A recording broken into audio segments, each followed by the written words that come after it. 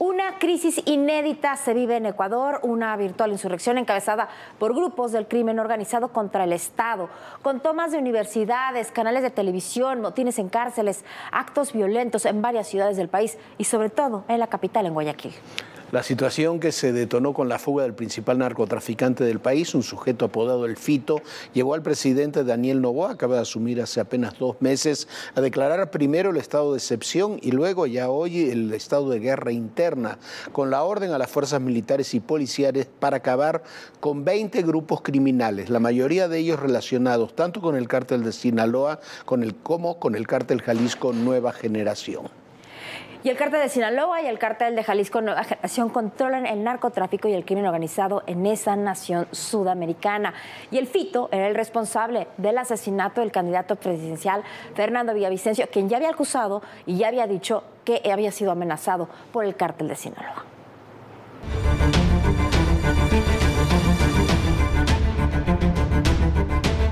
Ecuador vive una de las crisis más severas de seguridad en su historia. Esto debido a la fuga de Adolfo Macías, alias Fito, el máximo líder de la mafia de los choneros, y que habría salido de una de las cárceles de máxima seguridad de Guayaquil. Acabo de firmar el decreto de estado de excepción para que las Fuerzas Armadas tengan todo el respaldo político y legal en su accionar. Nosotros no vamos a negociar con terroristas, ni descansaremos hasta devolverle la paz a todos los ecuatorianos. Esto se sumó a una serie de motines en distintas cárceles del país, en donde al menos 84 agentes penitenciarios estuvieron retenidos por delincuentes para exigir a las autoridades que no los trasladaran a otras prisiones entre ellos a uno de los líderes de los Lobos, el grupo rival de los Choneros. Esto provocó que el 8 de enero el presidente Daniel Novoa decretara el estado de excepción y un toque de queda nacional, pero la jornada más violenta se vivió este 9 de enero. Nos acaban de asaltar dentro del centro comercial y estamos atrapados dentro del recreo. Están con pistolas y bombas, nosotros estamos refugiados aquí. Si alguien nos puede ayudar, por favor. En diversos puntos, hombres armados incendiaron vehículos y dispararon a residentes. En Guayaquil, criminales asaltaron civiles que se encontraban en las calles. Además, saquearon comercios.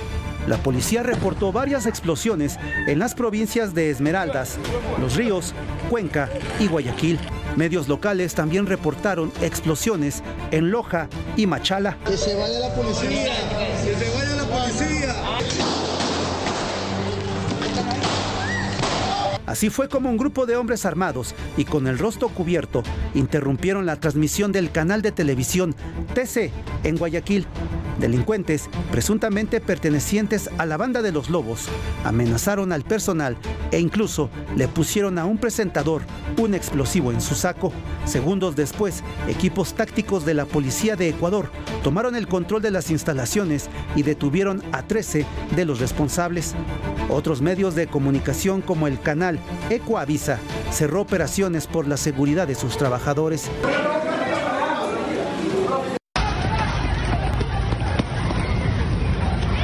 Pandilleros también tomaron las instalaciones de por lo menos dos universidades, la de Guayaquil y la de Quevedo. Alumnos reportaron el secuestro de compañeros y profesores. Para evitar más situaciones similares, el Ministerio de Educación suspendió las clases presenciales e impuso el teletrabajo al personal que labora en el sistema educativo hasta el viernes. Por estos hechos, el presidente de Ecuador, Daniel Noboa, declaró la existencia de un conflicto armado interno en esa nación. Además, identificó al menos a 22 grupos del crimen organizado transnacional como organizaciones terroristas y ordenó a las Fuerzas Armadas ejecutar operaciones militares para neutralizar a estas organizaciones. La Asamblea Nacional también acordó conceder indultos y amnistía a todo policía y militar que combata al crimen organizado. La situación actual exige colaboración y cohesión Estamos comprometidos en abordar este desafío con responsabilidad y de manera conjunta.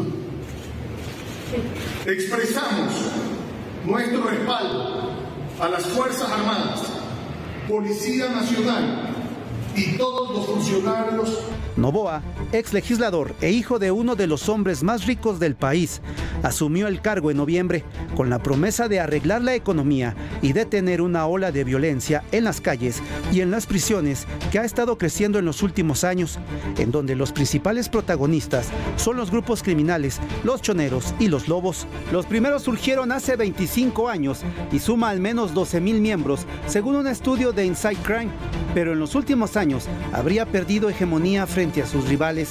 Los choneros están ligados al cártel de Sinaloa, mientras que los lobos surgieron en 2016 como una decisión de los choneros. Poco a poco comenzaron a tener cierta importancia en el país. Su ascenso vino en 2020, luego de la muerte de Jorge Luis Zambrano, ex líder criminal de los choneros. Más tarde tomaron el control de células criminales como los tiguerones y los choner killers. A esto también se suma una alianza con el cártel Jalisco Nueva Generación de México. Los lobos dan armas al cártel Jalisco a cambio de entrenamiento. En la actualidad, los lobos financian la producción y tráfico de cocaína y son la segunda agrupación delictiva más numerosa de Ecuador. Aunque se desconoce el número total de miembros, se han podido identificar a más de 8.000 tan solo en distintas prisiones del país. Desde 2020, los enfrentamientos entre los lobos y los choneros han sido constantes. Incluso, los lobos han coordinado varios ataques contra líderes de los choneros, incluido José Adolfo Macías Salazar, alias Fito. Bueno, la presencia de los grupos criminales mexicanos ha llegado ya a muchos países. Tenemos presencia del cártel Jalisco, del cártel de Sinaloa, en México, por supuesto, en muchas regiones, pero lo tenemos en prácticamente todos los países de Centroamérica. En Colombia ya la presencia de estos cárteles es ya no solamente como, como intermediarios, como funcionaban en el pasado, como compradores de cocaína, sino incluso como productores, asociándose con cárteles colombianos. Desde Colombia es como pasaron poco a poco hacia Ecuador y terminaron convirtiendo Ecuador en un punto central para la exportación de drogas hacia Asia por una parte y hacia Europa por la otra. Pero no es solamente drogas, hay drogas, armas, hay todo un comercio que se desarrolla a partir ¿Por qué en Guayaquil? ¿Por qué? Porque la capital es Quito, pero Guayaquil es la ciudad más importante, es un puerto, el puerto importante que tiene Ecuador y que está prácticamente controlado por el crimen organizado. Ese proceso comenzó durante el gobierno de Rafael Correa, que no hizo nada para combatir el crimen organizado. Muchos piensan que simplemente además lo alentó y terminó teniendo relaciones con grupos colombianos. Y luego ya hubo otro, otro gobierno intermedio y llega el, el presidente Daniel Novoa ahora con el compromiso de combatir a los cárteles y se encuentra con esto que vimos ahora, que yo recuerdo es la primera insurrección de este tipo que hay en forma generalizada en un país sin ninguna razón política detrás contra el Estado. Usted podrá decir que aquí lo hemos vivido, pero lo hemos vivido en situaciones regionales. El culiacanazo se ha ocurrido en zonas de Michoacán, ha ocurrido en zonas de Sinaloa, ocurrió en Guadalajara cuando se intentó hace unos años detener al Mencho, pero lo que vimos lo que vimos hoy en Ecuador, que se va a prolongar en el tiempo, es algo inédito. El presidente de Ecuador decretó el estado de guerra interno y eso, un estado de guerra interno, con la orden a las fuerzas militares y policiales de acabar con 20 grupos criminales, implica un proceso de enfrentamiento que va a ser muy largo y muy cruento. ¿Por qué? Porque esos grupos criminales se les permitió crecer durante muchos años y usted sabe esto de las estrategias de abrazos y no balazos, y los grupos se terminan empoderando. Cuando se terminan empoderando, se llega a estos niveles, que insisto, nosotros los hemos visto en forma parcial, en estados, en regiones, en ciudades. En Ecuador, que es un país más pequeño, lo hemos visto hoy a nivel nacional y continuará, no lo dude usted, en los próximos días, con hechos también inéditos como es la toma de una televisora, la toma de una universidad, la toma de distintas cárceles en forma simultánea. Y a partir de eso, con la, de la fuga de uno de los principales criminales, este personaje apodado El Fito, que es, hay que recalcarlo, el operador del cártel de Sinaloa, del grupo ligado al cártel de Sinaloa en ese país. Bueno, Jorge, y si hay algo que tenemos que poner especial atención aquí en México es que lo que está pasando en Ecuador se dijeron que son bandas, pero estas bandas, estas bandas criminales operan para dos cárteles y esos dos cárteles son los dos cárteles mexicanos, para Cártel Jalisco Nueva Generación y para el cártel de Sinaloa.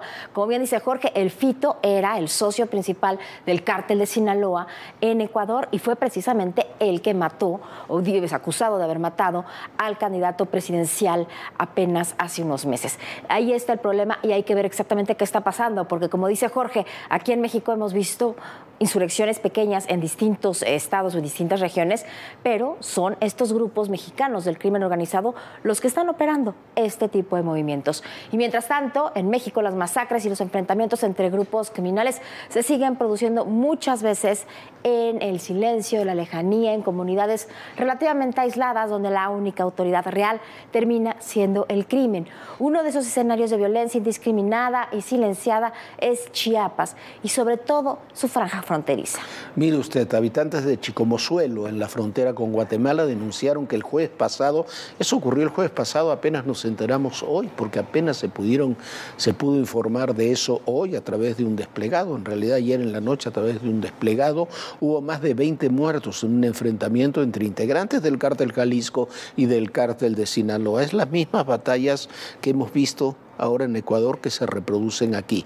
La batalla de Chicomozuelo dicen que duró más de siete horas y provocó el desplazamiento de buena parte de la población hacia otras comunidades o simplemente huyeron a los cerros para preservar su seguridad. Las autoridades locales, como siempre, han ignorado las denuncias y los pedidos de protección.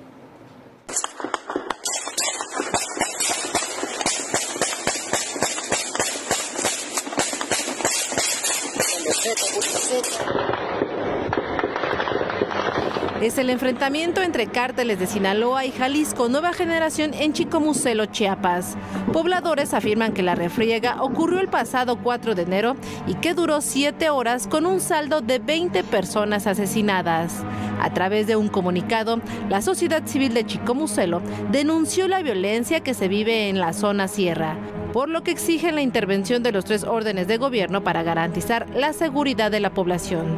Los cárteles de Sinaloa y el de Jalisco se disputan el control de la frontera de Chiapas con Guatemala y el ejido Nuevo Morelia, donde ocurrió el enfrentamiento, está cerca de esa frontera. Es de difícil acceso, por lo que se convierte en una perfecta zona para el refugio de los criminales. Este ejido también cobra relevancia porque está en una zona minera donde hay varita.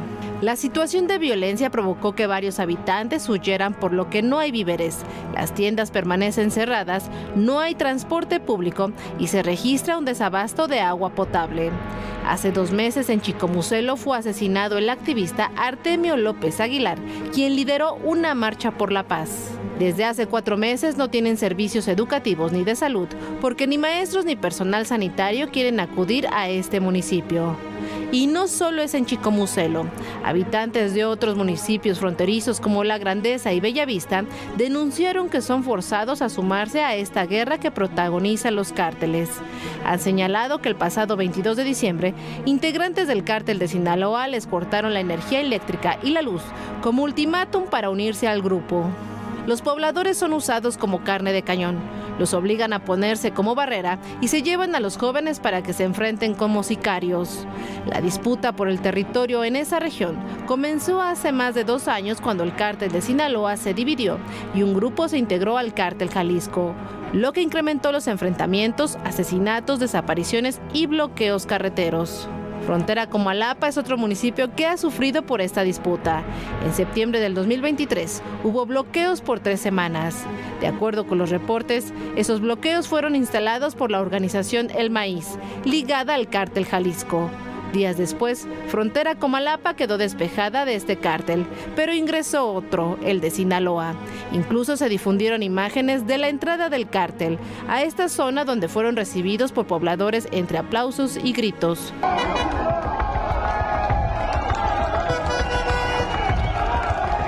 Chiapas es un territorio estratégico para el crimen organizado por su ubicación geográfica, ya que representa un puente de conexión entre el sur y el norte del continente a través de 700 kilómetros de frontera con Guatemala. Desde hace años, pobladores de los Altos de Chiapas han denunciado que además del crimen organizado, en la violencia intervienen actores políticos, funcionarios municipales y caciques. Ayer le hablábamos del asesinato de varios precandidatos. El caso de uno de ellos, de Alfredo Lezama, que buscaba la alcaldía de Cuautla en Morelos, exhibe con el paso de los días las ramificaciones que hacen de su muerte una evidentemente política. Salen a la luz indicios que podrían señalar que el asesinato del regidor de Cuautla, Alfredo Lezama, podría tratarse de un crimen con móvil político. De acuerdo con el comisionado estatal de seguridad José Antonio Ortiz Guarneros, el 27 de mayo de 2021 Lezama habría recibido una primera amenaza por parte de un grupo criminal, mientras que el 7 de octubre de 2023 habría recibido una segunda. Las dos amenazas fueron firmadas, una por el cártel Jalisco Nueva Generación y la otra por los Tomatitos, que sería un hombre clave para el cártel de Sinaloa. Aunque al parecer Lezama no habría denunciado estos hechos ante la Fiscalía General del Estado, ni tampoco habría solicitado medidas de protección por parte del gobierno estatal. De acuerdo con Guarneros, 734 personas entre funcionarios y ciudadanos han denunciado amenazas de muerte en su contra, por lo que actualmente tienen activadas medidas de protección, las cuales consisten en designarles al menos un policía que tendría que responder en caso de que la persona a su cargo fuera víctima de un ataque. Incluso durante el 2021, el nombre de Lezama apareció en una narcomanta, en donde se mencionaba supuestas personas involucradas en la política del estado de Morelos, relacionadas al grupo criminal de la Unión Tepito y al líder criminal Jonathan Joseph López Peláez, alias La Rata. Lucy Mesa, quien fue llevada al Frente Amplio por México por parte de Lezama para ser aspirante a la gubernatura de Morelos, señaló que este asesinato se trata de un homicidio político, con el que se busca intimidar a la oposición de cara a las elecciones de este año. Lezama sería parte de los comicios de este 2024 y buscaba una diputación local. Expertos en política señalan que sería una contienda cerrada en la que su rival más cercano sería el alcalde morenista de Cuautla, Rodrigo Arredondo, quien tiene una carpeta de investigación abierta en la Fiscalía Especializada en Combate a la Corrupción. En un clima total de violencia se desarrollarán las elecciones de este año en Morelos. Tan solo el 2023 fue el año más violento de la entidad. Se cometieron más de 1.300 asesinatos, lo que representa un aumento de 20% con respecto a la misma cifra pero de 2022. Bajo la administración actual de Cuauhtémoc Blanco, la entidad tiene un total de 5.221 muertos, lo que representa un promedio de 14 homicidios diarios. Y hoy hubo dos ataques armados en Cuautla, que dejaron tres muertos y dos heridos, entre ellos un estudiante de secundaria. Bueno, mientras todo esto ocurre, el gobernador de Nuevo León, Samuel García, destapó a Jorge Álvarez Maínez como precandidato presidencial de Movimiento Ciudadano. Samuel García aseguró que Maínez, que es el coordinador de los diputados de Movimiento Ciudadano y fue el coordinador de la efímera campaña de Samuel García, dice que cuenta con todas las credenciales para ocupar la futura candidatura y su hincapié en que ahora es turno, dice, de los jóvenes. Llama la atención que el anuncio no lo hiciera Dante Delgado líder de Movimiento Ciudadano.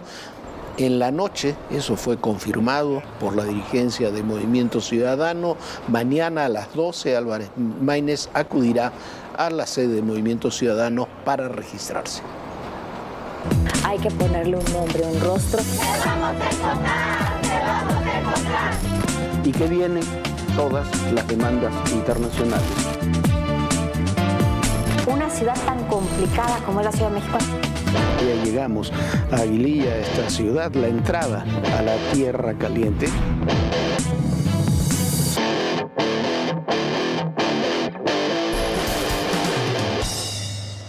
Y el presidente el día de hoy insistió en una reforma al sistema de pensiones que generalice que los trabajadores al jubilarse reciban el 100% de su último ingreso como trabajadores. Para los especialistas, esa reforma es, es, una reforma inviable, ya que implicaría desaparecer el actual sistema de pensiones. Se especula que en el fondo lo que se quiere es tomar para el gobierno los 5.8 billones de pesos que manejan actualmente las AFORES. Es un tema técnico, pero del que depende la viabilidad financiera del país y el futuro económico de varias generaciones.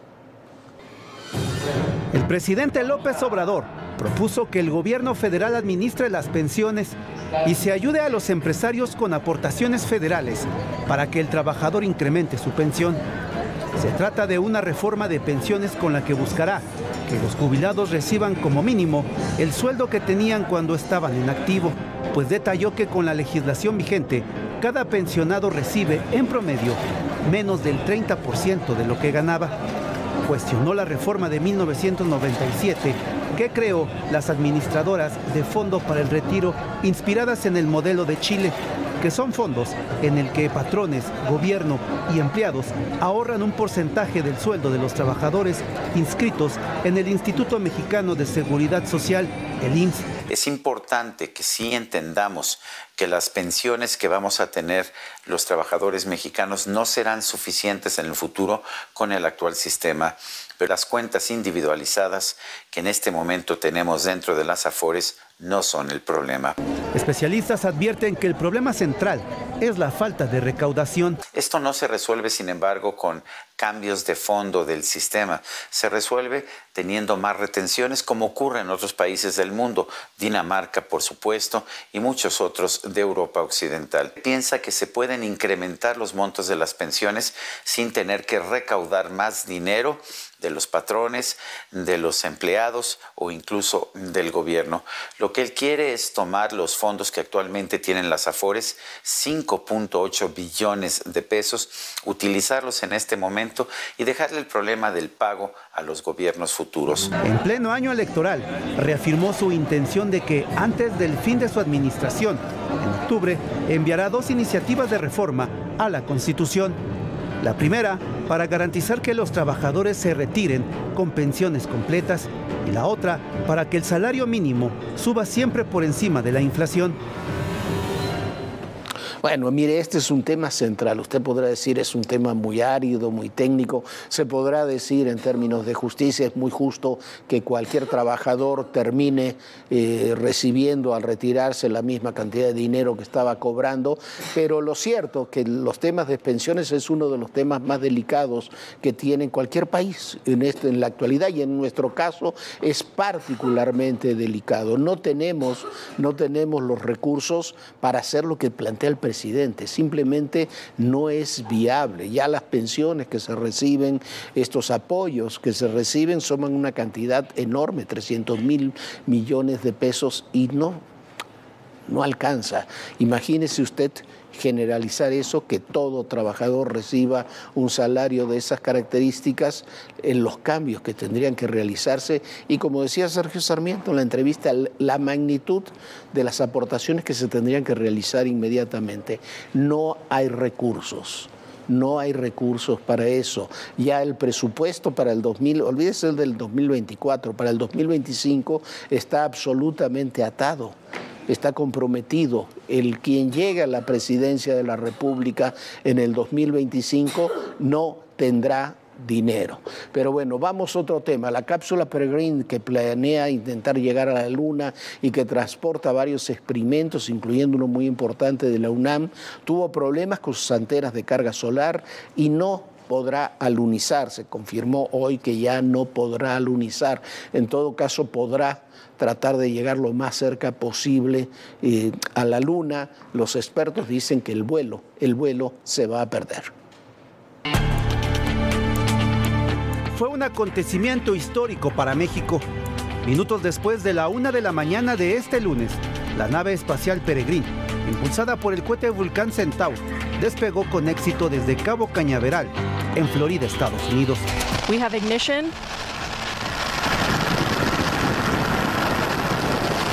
Liftoff of the first United Launch Alliance Vulcan rocket.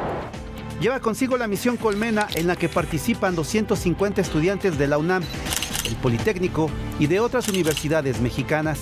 Este enjambre microrobot se llama colmena porque son cinco, cada uno mide 12 centímetros y pesa 60 gramos, son chiquititos. Van a analizar el suelo lunar. En primer lugar, para encontrar si hay manera de obtener agua de este subsuelo. Aunque el lanzamiento fue exitoso, 14 horas después se reportó que la nave Peregrine presentó una falla en su sistema de propulsión. Aparentemente hubo alguna dificultad técnica, espero que, se pueda reparar, cada vez hay más maniobras para poder reparar detalles complejos en, en los objetos que mandamos al espacio. La empresa asociada a la misión trabaja para solucionar el problema. Queremos hacer dos cosas. Primero, aprender a vivir en la Luna para después aprender a vivir en Marte. Y en segundo lugar, hacer minería espacial para obtener materiales de construcción para la Luna. Pero Peregrine no tiene posibilidad de alunizar porque solo tiene 40 horas de combustible. Así lo informó la compañía Astrobotic.